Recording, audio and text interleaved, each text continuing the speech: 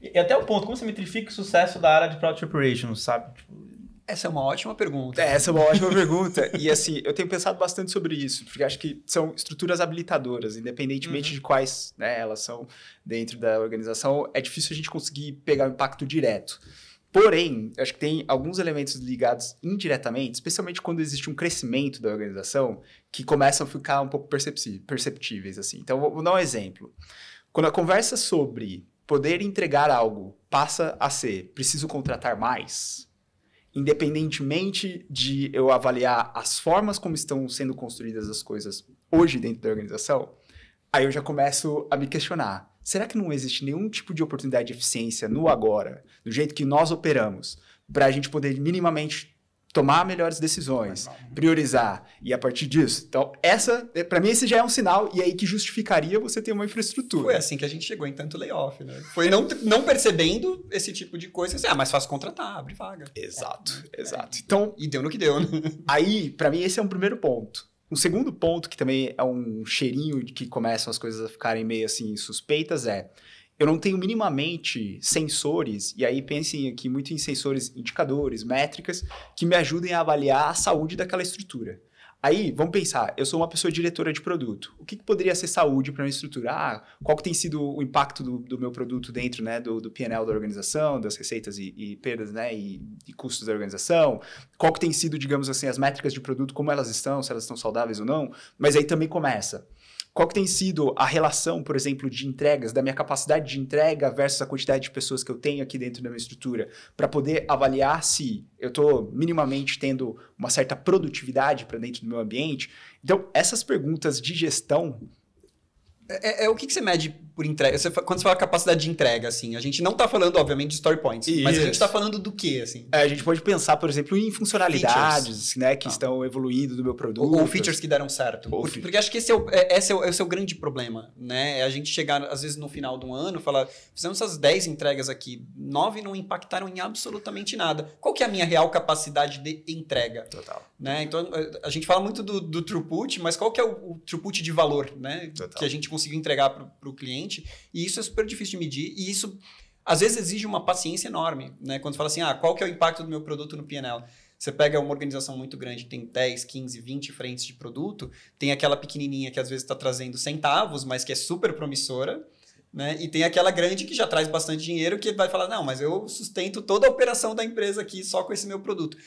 Como é que você compara isso também em ProdOps para dizer assim, não, mas as duas estão saudáveis? Então, e olha que coisa né? interessante, Farina. É legal essa, essas discussões, porque eu acho que essas estruturas habilitadoras, elas trariam esse tipo de questionamento. Então, é mais ou menos uhum. assim, eu não estou medindo por medir. E aí eu acho que começa também um outro questionamento, que eu acho que, independentemente do papel, se é Product Ops ou agilista, o pensamento crítico ele tem que estar tá sendo posto. Então, né, até mesmo nessa ideia do throughput. Meu throughput ele está qualificado, ele está uhum. orientado a algo que seja baseado em valor, impacto, coisas do gênero, né? Então, eu quebro aquela visualização, por exemplo, em cima de algum desses critérios de qualificação? Essa é uma pergunta que, quando a gente começa a pensar em pessoas agilistas que estão orientadas para negócios e tudo mais, as pessoas começam a criar esse tipo de, de questionamento. Mas eu acho que, ah, para mim, é essencial essas estruturas habilitadoras, porque elas vão oferecer como se fosse a linha de base ou o esqueleto para que a organização ela possa ter minimamente critérios básicos de avaliação da sua estrutura, assim, das suas estruturas. Então, e, e, isso é muito interessante. Tem um, um, autor que ele escreveu sobre o Spotify Model, né, o modelo Spotify. Ele trabalhou lá em 2017, até 2017, e ele falou assim: ah, por que o modelo falhou? Porque ele não deu certo. Legal. E um dos pontos que eu achei interessantes que ele trouxe foi falta de linha guia desde o início para todos os times. Então, ele, ele usava muito o termo assim: os times eles foram organicamente se estruturando. Então, práticas, processos e coisas do gênero. Cada, cada time tinha sua liberdade de escolher. E chegou um determinado tipo de momento que ficou insustentável, porque quando existia aquela conversa do tipo assim: onde estamos alocando hoje as nossas pessoas, os nossos times? Putz, para extrair esse tipo de informação por falta de padrão, era praticamente impossível. Você sabia se confiava que as pessoas estavam evoluindo roadmaps e coisas do gênero, ou que se tinha uma linguagem mínima ali para dizer o que, que era a prioridade naquele trimestre ou semestre e as coisas iam fluindo. E aí ele falou: acho que para qualquer organização, ter linhas de base ou ter linhas guia, elas vão ser importantes para que depois eu consiga minimamente tirar uma fotografia daquela organização e saber se ela está saudável ou não. Então, eu acho que é esse tipo de estrutura habilitadora, ela traz esse tipo de capacidade. Aí vocês vão falar assim, mas onde? Que já tem disciplina que fala sobre isso. E no episódio que eu participei aqui, eu falei, é engenharia de produção. É produção. A gente às vezes fica insistindo, não, não. É produção. Acho que a diferença é que agora a gente está trazendo o tempero digital certo? Mas continua sendo produção.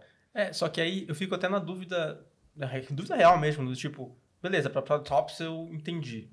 E para Design Ops? E para é Marketing Ops? E para todos os outros Ops? é a mesma coisa, porque eu já vi design ops, e nem sei se está certo ou não by the book, mas eu já vi design ops que, ah, não, eu sou do time design ops e aqui nosso foco é fazer design system para criar um padrão para todo mundo desenvolver e criar. Mas, mas o design mas system é, é uma estrutura habilitadora para garantir Perfeito. produtividade. Também garante consistência, também garante satisfação do usuário, né? Minimiza a carga cognitiva e tal, mas, mas se você não pensar no usuário por um tempo, tá? rapidinho. Se você não pensar no usuário por um tempinho aqui, é uma estrutura habilitadora de time que dá muita velocidade também. Mas é só isso que o Design Ops faz? Porque produto a gente está falando muito de negócio e tal, e não sei o quê. Mas eu também já vi gente de produto que tá em ProDops e fala, ah, não, vou padronizar aqui o template de OKR. Legal, mas qualquer pessoa poderia ter sentado a bunda e padronizado o template de OKR. Você não deveria gastar mais do que alguns minutos fazendo isso, né? Não é, sabe? Não precisa contratar você se é isso que você faz. Não, é porque foi difícil, muitos stakeholders. Então, a gente está falando, e eu concordo, mas ao mesmo tempo me parece que as outras áreas, eu nem sei se as outras áreas que têm ops pensam dessa maneira, ou se elas pensam só em coisas, vou chamar aqui invisíveis, né? Coisas mais internas, é, tipo, tipo. Não que não seja importante, é. Mas não parece que estão metrificando no sucesso do negócio sempre, sabe? Estão tão metrificando em, ah, meu time vai ser mais rápido. Vou reduzir por, a Por percepção, eu acho que sales ops costuma ser mais maduro nas empresas. Porque, porque ali o impacto é muito fácil. Primeiro, inclusive. Muito fácil de medir. Primeiro, né? Quando você não está produtivo na, no time de vendas, é muito fácil você perceber e muito fácil...